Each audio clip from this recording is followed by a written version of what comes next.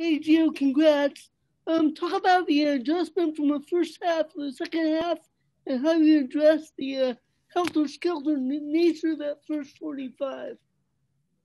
So thank you very much, Paul. Um, yes, it, we knew it was going to be a difficult match. The first half, um, we tried to find spaces. We tried to move the ball. We tried to go a little bit behind at the beginning of the game, but also they were they were difficult when uh, they play their own balls. They play very direct. They tried to get in behind us, and and they had uh, a, a, few times uh, success. Um, but uh, we defended very well, and we capitalized in in the opportunities that we had in in the first half. I think the second half was uh, completely different. I think we we dominated um, the entire half. I, think we uh, created good chances. We moved the ball well. Um, and overall, I think a very strong performance from the guys, a well-deserved win, and and uh, I think now we just have to continue to to work this way. Um, so overall, I think we handled this match very well because we play against a difficult team. Caitlin Murray, Oregonian. Uh, Gio, this is the Timbers' first time reaching the quarterfinals of the Champions League. What does it mean to you to reach the stage, and um, what are what are your hopes for this tournament, and how how do you plan on balancing it with the regular season? Of course, um, our hope is to to try to go all the way, but we know that uh, you know uh, we have to make sure that we take one game at a time. Right now the important part was to qualify to the next step which uh, uh, the guys worked very hard to obtain that and uh, and now we will uh, prepare for the next match where we we, we have to play uh, and uh, concentrate on on that leg one of the quarterfinals um, and try to do our best to put ourselves in in a good situation so um, right now, we just have to take it one game at a time, but we are excited today that we were able to move forward. And we're excited as well that we did it uh, in front of you know our fans, uh, not in full capacity, but at least you know a good percentage to cheer on on us and and give us you know and enjoy this day today. Uh, that um, that you know I think was very worth it. Kyle Pinnell. Hi, Gio. It seemed like Dairon Asprilla was everywhere on the field, whether it be on the left, um, creating that first goal, or on the right in one-on-one opportunities. Just what did you think of his performance today, and how valuable is it for what the team wants to do on the field when he can be so active and play both wing sides pretty successfully like he did tonight?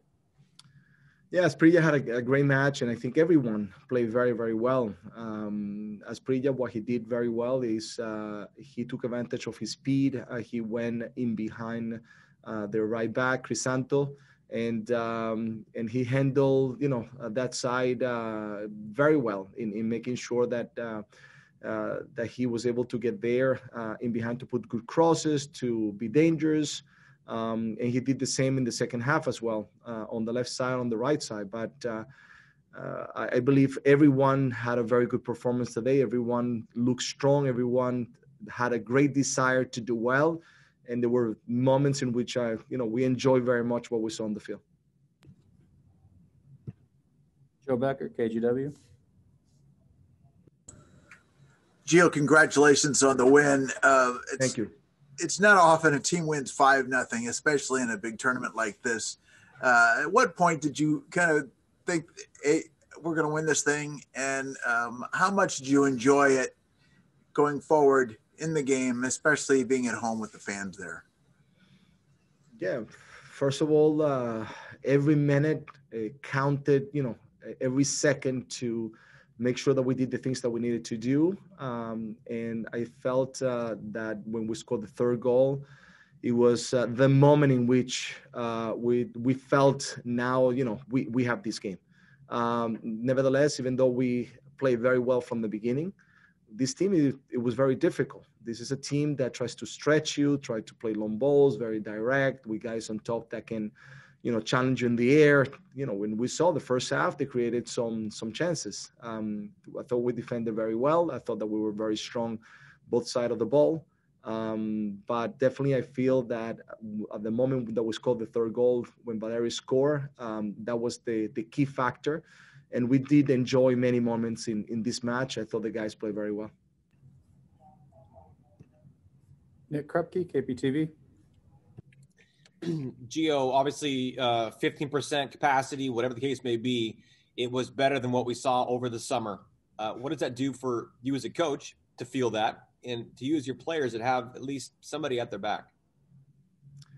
You know, we, we keep on saying how much we miss the fans, uh, but it's not until the moment that they're back, even though, uh, as you mentioned, in, in this capacity, uh, they were so loud, they were so passionate, they support you know us through the entire match. They enjoyed this result as much as we did, and and having them back, uh, it was phenomenal. It was such a good feeling to to see them back in there. So hopefully, you know, little by little, we, we keep on getting more people back in the stadium, and it's such a big difference. So we, we're very fortunate that we had our fans back today.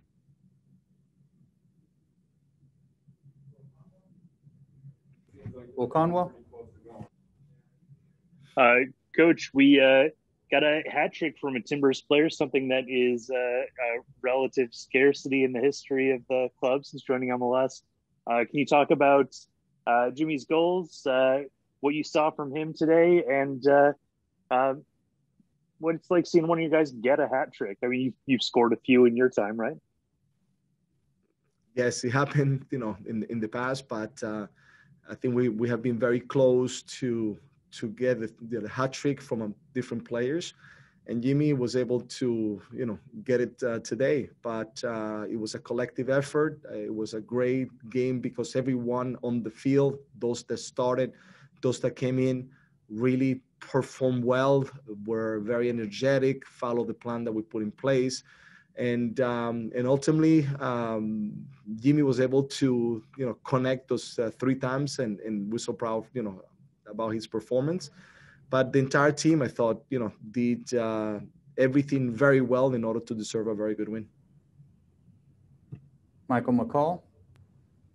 Hi there, Gio it's a very busy month, obviously coming up for the team MLS season starting at the weekend.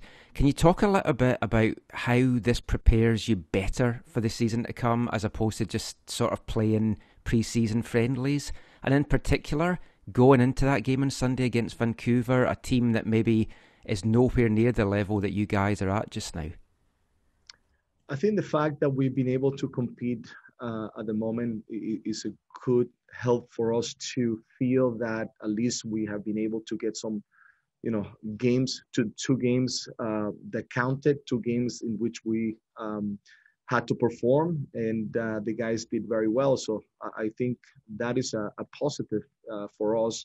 Nevertheless managing uh, mls and, and uh, conca champions is, is not easy. Um, but the mentality that we have in the team um, gives me the feeling that everybody wants to contribute as we saw today. You know the guys that come came from the from the bench um, really came into the game strong and this is very important for us to be able to make sure that we can stay competitive in in, uh, in MLS especially starting as you mentioned against Vancouver this this weekend we know there's going to be a tough match we know that uh, now they're going to be playing uh, in a different venue and uh, and they have made some uh, important signings as well. So we expect, you know, to be a very competitive match. But the fact that we played two games already, I think, is a is a very positive thing for us to to have done so far.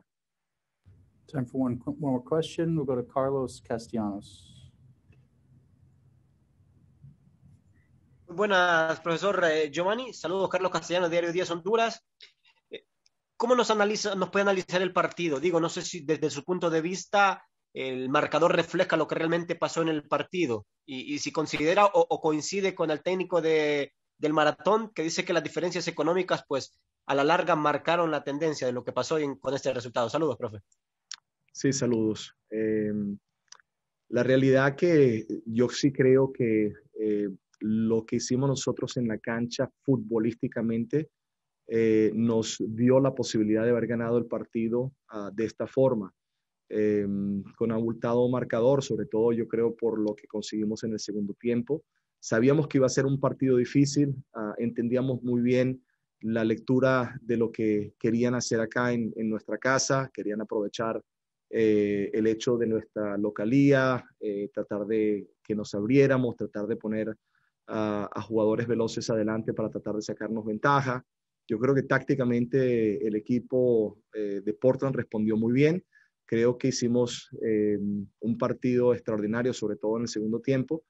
Y yo creo que no solamente eh, la calidad de nuestros jugadores, sino yo creo también la preparación de este partido fue lo que determinó al final el resultado que conseguimos. No hay que quitarle nada al maratón, yo creo que vinieron a hacer su partido, fueron complicados, sobre todo el primer tiempo, tuvieron alguna oportunidad, uh, pero yo creo que se demostró que tácticamente y, bueno, sí, individualmente el, el equipo eh, resultó y, y, consiguió hacer cosas muy buenas. Yo creo que el maratón tiene buenos jugadores y que puede competir. Yo no, no veo al maratón eh, inferior en, lo que es uh, plantilla. Uh, así que para mí las dos cosas fueron importantes el día de hoy. We're going to wrap it up there. Thanks, Coach.